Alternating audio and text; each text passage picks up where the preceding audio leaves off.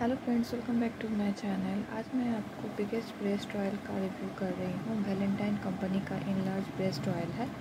ये ऑयल बहुत अच्छा है, मैंने इसे खुद पर्सनल यूज़ किया है। और इसे मैंने मीशो से मंगाया वन ट्वेंटी सिक्स रुपीज़ में। और इसकी फ्रेगरेंस बहुत अच्छी है, बिल्कुल एकदम गुलाब फूल की जैसी है। और बहुत अच्छा है, आप इसे यूज़ कर सकते हैं। इससे आपको डेफिनेटली इसमें आपको रिज़ल्ट मिलेगा, जिस चीज़ के लिए आप इसे यूज़ कर रहे हैं। तो से यूज़ कर सकते हैं।